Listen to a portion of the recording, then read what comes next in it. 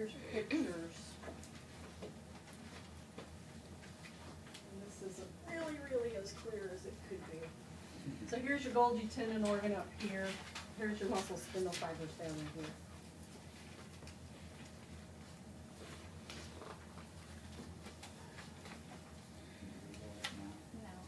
No, I'm just. Huh? I asked her if she could read the whole thing oh. now, Yeah. and you had the other picture. I couldn't read it here, actually. Picture stolen from somewhere and